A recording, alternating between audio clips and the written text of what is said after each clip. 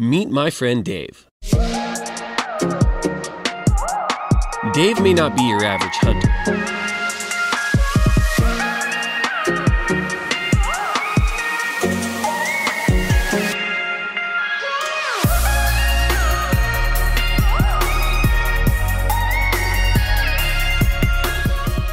We're just gonna camp out right here. We're not gonna move. It looks like a real deer. Dude, chocolatey horn.